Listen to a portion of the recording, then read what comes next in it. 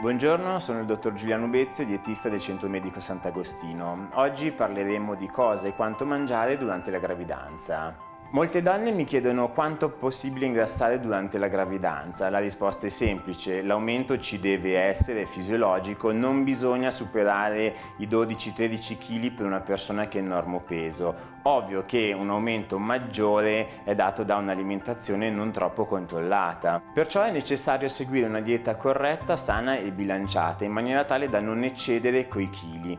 Un'altra domanda che capita spesso è quanto bisogna mangiare in più rispetto al normale. È ovvio che bisogna vedere da persona a persona. C'è chi parte da uno stato di normopeso e perciò avrà bisogno di introdurre 150-200 calorie in più nella sua alimentazione, mentre chi parte in uno stato di sottopeso avrà bisogno di un'integrazione maggiore di calorie, parliamo di 400-500 calorie. Al contrario, chi parte in uno stato invece di sovrappeso o d'obesità, l'introduzione maggiore dovrebbe essere intorno alle 100-150 calorie, in maniera tale da usare le riserve di grasso per poter accrescere il feto. Quanto sono 150-200 calorie? Sono all'incirca un panino e un paio di frutti in più durante la giornata in un'alimentazione già normocalorica.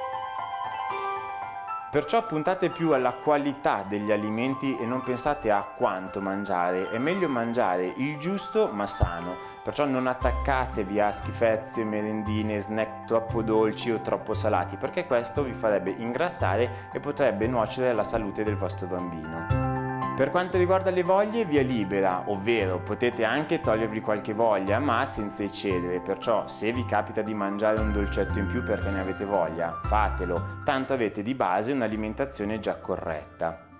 In conclusione, non è necessario mangiare per due, questa falsa tradizione che esiste ormai da anni. L'importante è mangiare in modo sano, corretto e bilanciato e ogni tanto togliersi qualche voglia.